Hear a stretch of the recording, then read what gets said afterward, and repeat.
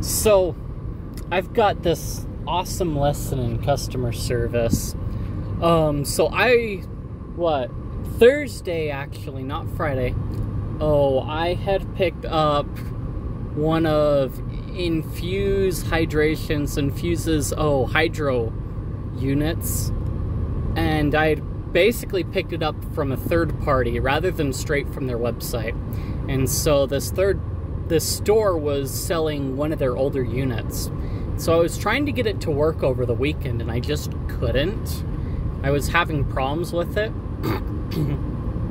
so I emailed them and then I really got nothing back. And being impatient and wanting to be able to work on a video with it, oh, I should.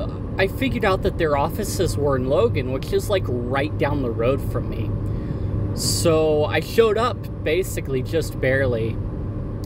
Well, I just got out of there like 10 minutes ago. But I kid you not, like the first thing that he's like, I'm sitting there, it's like, okay, so I bring it in, the dude looks at it and he's like, oh, yeah, it's like one of our older units. So basically, first, let's see if it works. It just kind of like doesn't work right off the bat like it has been the whole weekend. But basically, he's like, so here's what we're gonna do. We're gonna update your system first of all.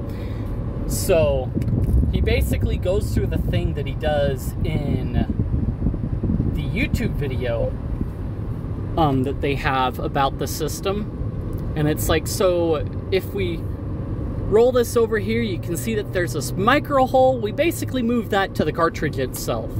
So when you look at the updated cartridge versus the old cartridge, oh, there is a little rubber piece that has a hole in the lid, a micro hole, to allow air to get in so that the the hydro unit can do the infusion. So he's like, so what we did is like, there's this little micro hole, and he like tries to show it to me. It's like I can barely see already anyway, but it's whatever. Um, and so he's like, trying to manage that sucks. And so he nonchalantly tosses the one I had paid $45 for for an item that costs $25 on their website and just nonchalantly tosses it into the trash. And then he's like, So, what we're going to do is. And then take this and put that on. So it's the new one, the updated one, without the micro hole in the seal, but on the cartridge instead. And so it's like, okay, does that work? Okay, so then I remember, wait, nope, got to turn the flavor off so that I can get water through. And then we turn it all the way on and pump it through. And it's like, okay, flavor's coming through. And it's like, yeah, there we go. So I pop off the cheapo um, bite end that they have on it because they kind of get whatever. And they expect you to replace that, oh, end anyway with something better. But in the process, it's like part of the process I explain it's like, yeah, I went through like three quarters of my flavor cartridge just trying to prime it with that old unit. And he's like, oh, yeah. And so I walk, so I walk out with a replacement unit, which they said they would do on basically the um, support, the leaflet that they have with the unit. And I also walk out with a whole bottle of their flavor elixir to, in essence, replace what I had. And it's like, so here you are, you're basically you basically tossed money into the trash and you basically gave spent more money on me than you needed to. But that's to keep a happy customer. And there are a lot of businesses still that don't follow that. But it's just it I mean, it was kind of what I was hoping for, but I didn't expect it to happen that way at the same time. I expected a little bit more resistance, but it was just so such a smooth process. It really shocked me. Uh, here I am. I walk in. I literally like no appointment. I just kind of walk in, say hello, get someone's attention, mention my issue, and I like bring my backpack in with my stuff, and it's like, and it takes like less than 10 minutes. The drive takes less than the drive it took for me to go up to get my glasses refitted and back to like solve the issue.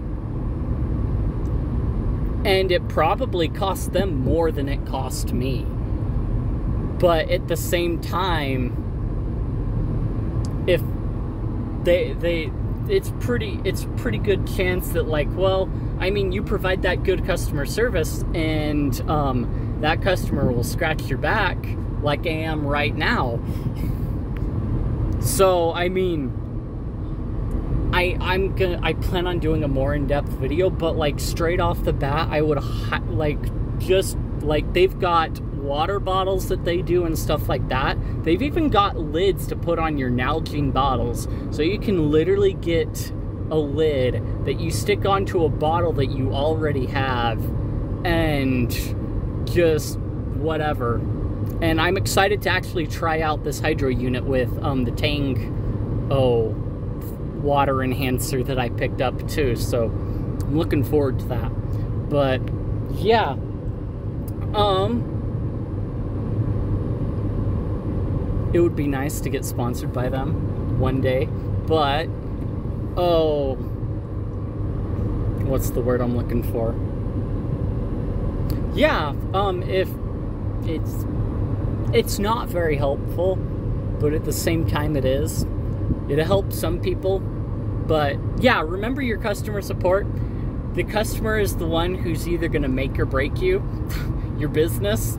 And if you treat your customer right, even if they're wrong, if you can treat them in the right way and let them know that they're wrong and help them have a good experience at the same time, then that's really what will make or break your business and make, yeah, but anyway, Discord and everything else, support links and whatnot, very helpful.